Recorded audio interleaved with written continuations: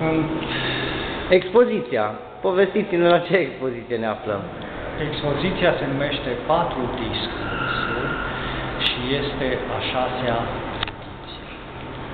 Uh, Ceea ce vedem aparține uh, a patru studenți de la uh, Timișoara, care include și un invitat, uh, un francez.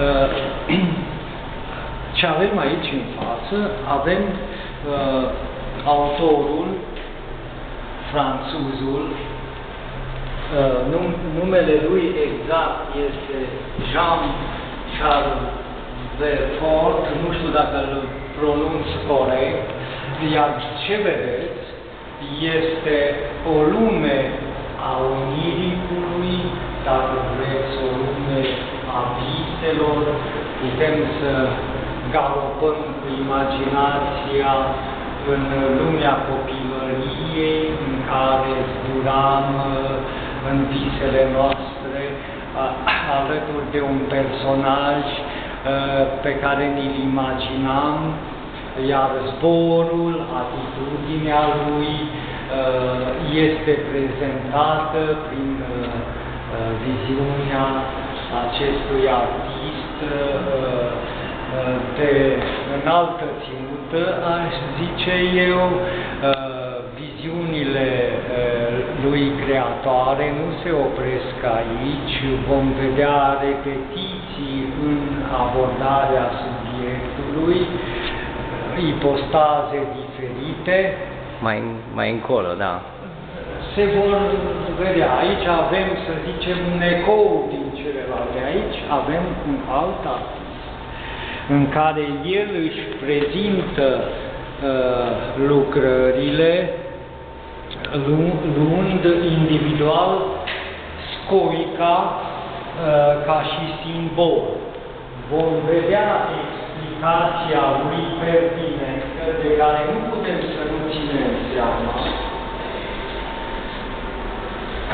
Artistul se numește Benjamin Bard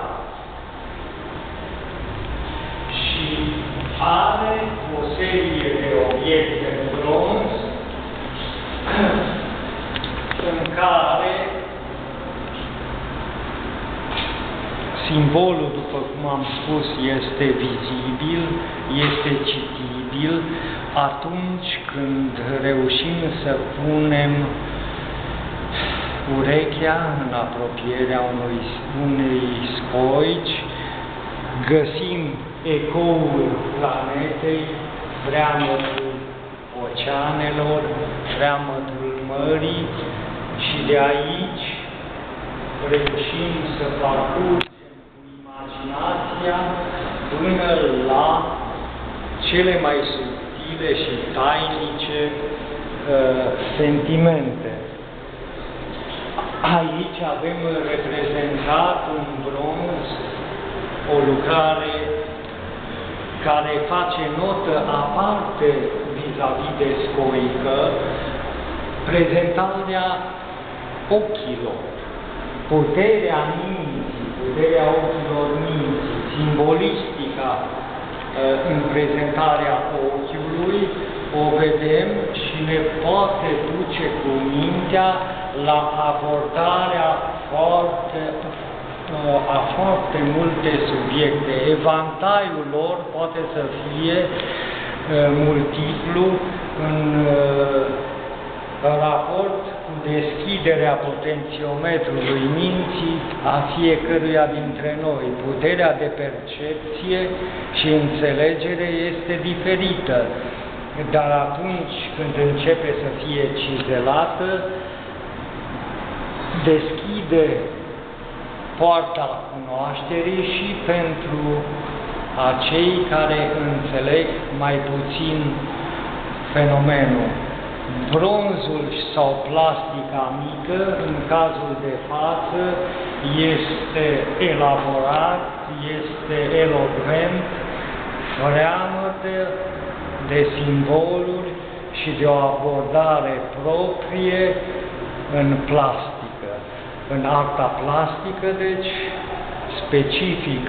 În Da, cazul și- de față, scu- sculptura este prezentată adecvat, viziunea fiind proprie artistului. Prezentarea este doar o subțintă uh, descriere a ceea ce se întâmplă pentru a fi pe înțelesul cât mai apropiat al publicului larg. Tuturor, este lesne de înțeles, e o, vedem o scoică cu ochi, deci practic auzim cu urechile ceea ce uh, ne inspiră marea. Prin da, scoică. Da, dar aici vedem ochiul. Aici este ochiul, dincolo este scoica, de, dacă vreți scoica, un anumit gen de scoică uh, ne poate duce cu mintea într-o zonă a uh, Erogenă. să zic, într-o zonă uh, mai caustică a ghicitului, a, uh, deci poate fi abordat uh, și uh, la acest mod, însă uh, ecoul plastic este mai pregnant și mai pu- puternic, uh, după părerea mea, decât o simplă uh, abordare, să zic eu, la nivel de chivuță. Da. Iată, E, aici avem ceva iarăși deosebit.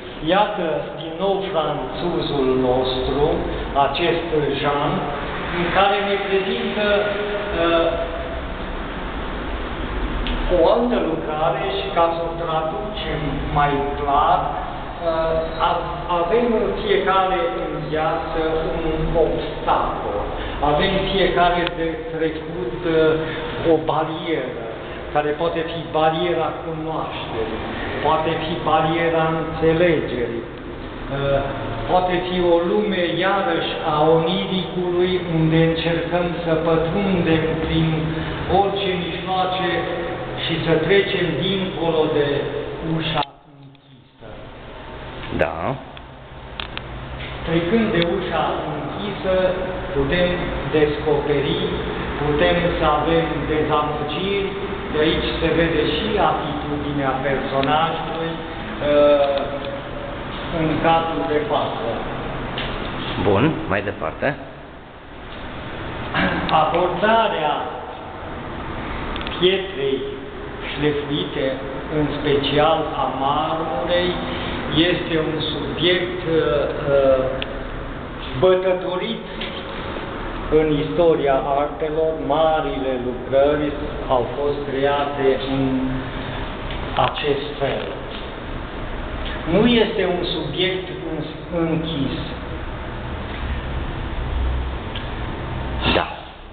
Nefiind subiectul în- închis, uh, subiectul poate să fie vast, poate să fie cu abordarea a numeroase po- probleme. În viziunea artistului, această lucrare, care se numește Preludiu, uh, traducerea este simplă din punctul de vedere al explicației pentru un necunoscător. De la simplu, deci de la suprafața simplă, la crearea unui lucru mai concret. Aici avem un cuib a aceluiași autor în care își uh, propune abordarea cuibului de pasăre la modul simbolic. Uh, Cuibul poate să fie începând de la căldura sufletească, la un cămin călduț. Aici uh, putem uh, să trecem cu imaginația, la fel ca și într-o partitură simfonică, când nu avem o explicație clară, nu avem cuvinte, dar avem sentimentele care lucrează uh, cu ajutorul imaginii și harfa sufletului este ciupită mai mult sau mai puțin în funcție de educația pe care o avem fiecare. această muncă de șlefuire a pietrei, de uh, căutarea unor idei, unor forme noi, îl găsim în uh, lucrarea Domnului Dan Daniel, care își păstrează în esență prelucrarea pietrei uh, cu forme multiple, cu abordări noi, în care folosește chiar tehnologiile noi, se, se observă tehnologia nouă a flexului, Da. cum este uh, folosit pentru decupare și tăiere. Este o frumusețe pe care, de fapt, o descoperim în toată expoziția, în uh, special structura face o alternanță între plin și gol. Acest dialog între plin și gol și a spațiului înconjurător nu face decât să ne umple acel gol spiritual atunci când avem nevoie de o clipă de reflexie, o clipă de repaus în care gândim asupra unei lucrări. Da. O altă lucrare, tot a domnului Dan, Da, nu mai vorbim despre asta pentru că uh, nu mai avem foarte mult timp. Da. Trecem puțin mai avem, la celelalte. avem uh, Pe ab- scurt. abordarea uh, identică a marmurei șlefuite, a căutării. Uh, aici, dacă doriți, avem un neofuturist, uh, tot de Dan, uh, Daniel,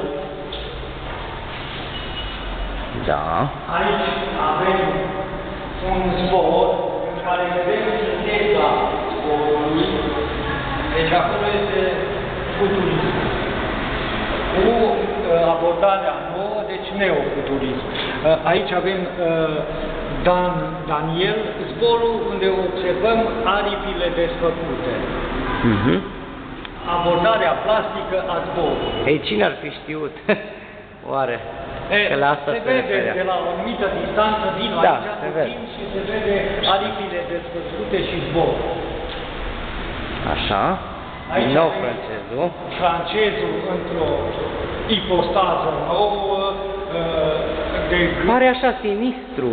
Ei, uh, abordarea este specifică artistului, abordarea este uh, uh, făcută prin prisma lui de înțelegere cu sentimentele și modul lui de percepție și descriere a lumii onirice. Deci este un uh, mod de abordare propriu în care se observă și gestica personajului. Da. Aici a, această roată de tip mecanism am mai văzut-o, Da. deși nu pare, este o, o fetiță sensibilă și uh, uh, ea se numește Andra Ciocoiu și este făcută de o, o fată de un metru și 55, când o vezi, nu ține să crezi. Iată spiritul ludic, uh, adică ce înseamnă spiritul ludic? Cu această roată, dacă o mici, mă pot juca. Da.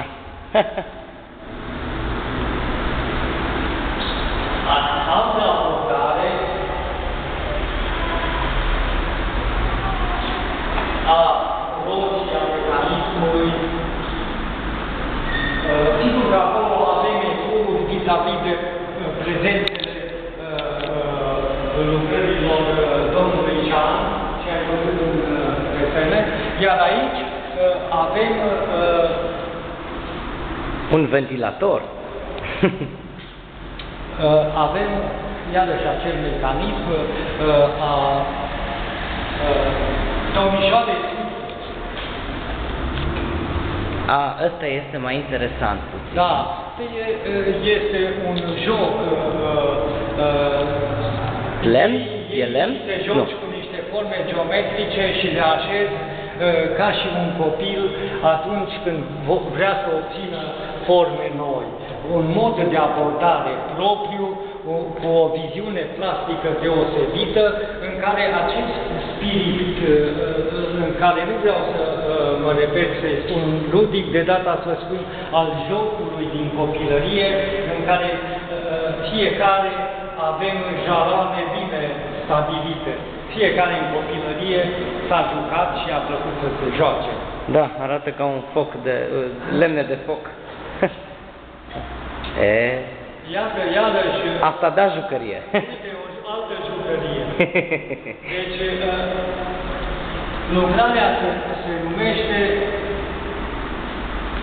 Jocul meu. Foarte. Sigur că uh, uh, uh, este realizat din metal, uh, ca și... Mamă, la prima impresie ca și credeam că e toate din lucrările- lemn. Ca și toate lucrările domnișoare, de altfel, Foarte frumoasă. Aici cred că, da, tot San Daniel, uh,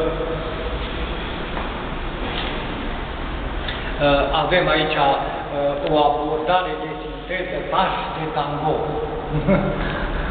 E, Deci, individul uh, și dansul, uh, lucrat la sinteză, personajul, uh, dacă vrei, uh, realizat. Aici, francezul nostru, uh, iarăși cu abordările lui din lumea uniricului, uh, foarte spectaculoase, uh, a- domnul uh, Jean uh, Charles Velo, uh,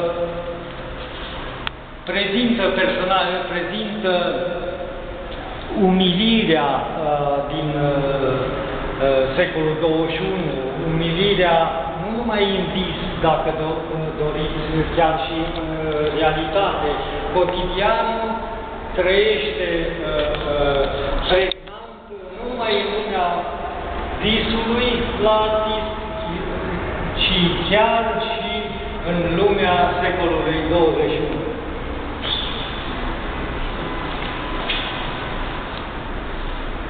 Iarăși Andra Ciocoiu uh, uh, cu modul lui, uh, modul ei de exprimare uh, metalizat, Da. în care Într-adevăr. vedem așezarea uh, unor forme geometrice și nu întâmplător, ci într-o compoziție în care suportul determină galoparea cu sentimentele și cu gândul spre abstracte seninătăți, dacă vreți. Da. Desenele uh, și-au farmecul lor, Da. uh, Ăsta e foarte uh, este reprezentativ. uh, reprezentativ și sunt ecourile, Tot Jean Chavelot. sunt ecourile domnului uh, Jean Chavelot, des, uh, des, desenele de fapt oglindesc ecourile care au determinat opera. Acum vreau să, că de-aia v-am grăbit, haideți după mine și uh, povestiți-ne un pic despre ce avem aici. Că mi-a spus la început, dar uh, haideți să știe și restul Păi, uh, lumii. avem abordarea diferitelor scoici, Nu, nu, nu, eu mă refer ce avem aici. Aici avem uh, cele cinci ediții ale discursurilor. Uh, si- desigur, dacă răsfoiți, veți uh, descoperi uh, evenimentele care se întâmplă și s-au întâmplat uh, deja uh, de câțiva ani, Luați una la răsfoi dacă Păi ne ce- prezentați. Orice doriți. Păi, a, astea sunt din edițiile trecute și nu pot decât să vă prezint poze din edițiile tre- trecute. Nu Cred că o discuție permi- pertinentă ar, ați putea avea și cu curatorii expoziției, în fapt, uh, do- uh, doamna, Șe- uh, domnișoara Șerban și domnul Moldovan. Da. Sigur că mai avem culoarea și forma domnului Medeleanu, care uh, nu poate să fie uh, ignorat. Avem pe domnul Boronia, ai uh, Feribaci aici, avem uh, doamna Josan, uh, desigur că îl mai avem și pe domnul Chet, uh, cu albume de artă, avem pe domnul Steinbuber cu album de artă, avem pe regretatul dintre noi, domnul Ștefan Guleș, asta este o imagine, document a domnului uh, Guleș, s-a stins dintre noi, Da. domnul Guleș. Avem aici arta la Barcelona, Este important să știm că așa se pot achiziționa. se pot achiziționa. Cine dorește poate veni la muzeu și să-și în procure. muzeu, la galerie. Galerie. Da. Avem uh, chiar și uh, Păi galeria face parte din ciclul muzeal. avem chiar și uh, bienalele. Aici avem, mi se pare, prima bienală, da?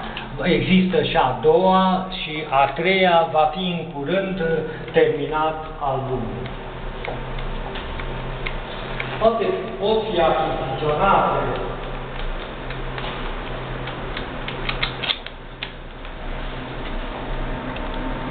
Da, este mare lucru. se pot achiziționa. Chiar și cartea domnului Medeleanu își are o explicație pertinentă a culoarei și a formei. Da. Bine, vă mulțumim foarte mult. Mai Și- avem și 50 de ani, mă rog, sună ca o, o chestie de uh, 50 de ani de comunism, să sperăm că o să apară o nouă ediție în care... 50 de ani de uselist. nu știu, de, de comunism, mă rog cum vreți. Eu vreau să scăpăm de acești 50 de ani și să ajungem pe, cu adevărat pe drumul democrației. Domnul Streiber cu uh, ceramica lui deosebită. Era acolo. Da. Aici avem cele patru discursuri cu edițiile anterioare și când va apărea albumul uh, din ultima ediție, veți, uh, îl veți avea. Dacă vă interesează, chiar se poate achiziționa sau pune pe, uh, uh, știu eu, pe internet niște imagini uh, cu ce se întâmplă aici, pentru că în fapt noi suntem și ne considerăm un lăcaș de cultură al Aradului, unde omul trebuie să intre dacă are puterea de înțelegere și să se îmbogățească spiritual.